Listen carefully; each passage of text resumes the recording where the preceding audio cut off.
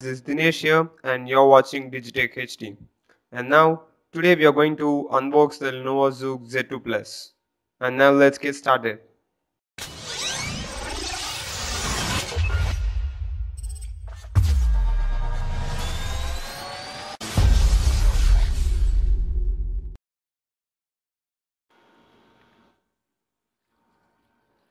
Mm, we have the Lenovo box right in front of us. Let's unbox it. And first let us peel the plastic cover above the box. Mm. taking the plastic tearing it tearing it from the box.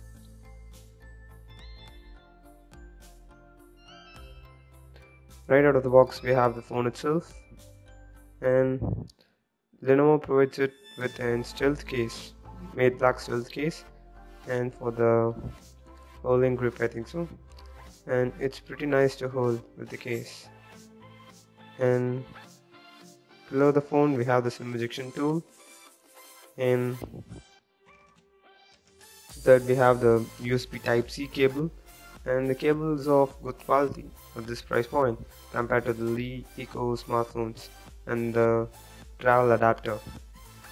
Mm, there's nothing special other than this and we have the usual user manual stuffed into it along with the warranty card. And that's it for all. Coming back to the phone we have the plastic covers protecting it. And let us take the phone out of the stealth case to take a look at it. Uh, it's pretty tightly fitted inside the stealth case and after removing the stealth case we have the back plastic with some of the certified informations that's peeled off. Yeah. It's quite premium premium enough like the 50,000 flagship phones and the glass pack. It's prone to fingerprint. It's very much prone to fingerprint. And it's quite slippery also and at front they have the protections matte cover with fingerprint sensor at the bottom. And it's really slippery. That's why Lenovo has decided to provide it with a stealth case I think so. It's pretty useful.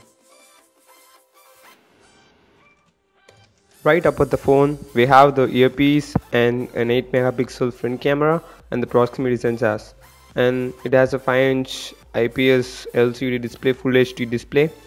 And at the bottom we have the fingerprint sensor embedded with the Lenovo's U-Touch technology. Right up the up at the rear of the phone we have the 13 megapixel rear shooter with LED flash and the noise cancellation microphone. And it has a reflective back uh, which you can see it. And Lenovo branding at the bottom with uh, some of its certifications. To the right of the device at the bottom we have the dual SIM slots and the power button and the volume rockers. And it comes pretty handy to use.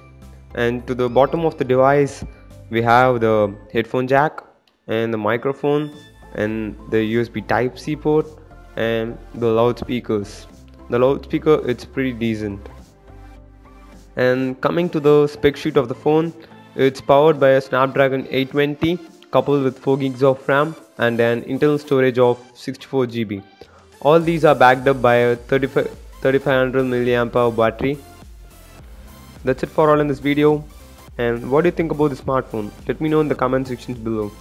If you're new to my channel, make sure you hit the subscribe button and the notification icon right next to it so that you'll get notified when a video goes live in my channel and if you like this video hit the like button.